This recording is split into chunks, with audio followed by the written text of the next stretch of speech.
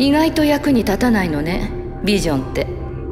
陛下を守れなかったこと？それは流れの枠のうちだったからさ。シルクのせいじゃない。ふん。肩持つのね。で何か分かった？ええゾクゾクしてくるわ。この槍。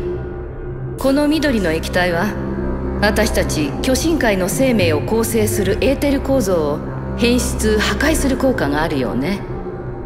おそらくは巨神の血液から採集したエーテルエネルギーに手を加えたんでしょうね。体験の警告を流れるあのエーテル竜はそれか。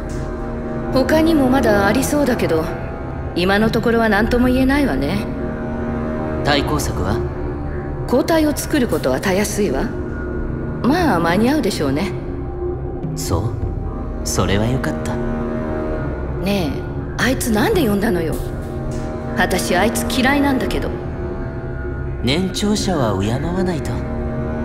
僕らより彼との付き合いは長いんだからさ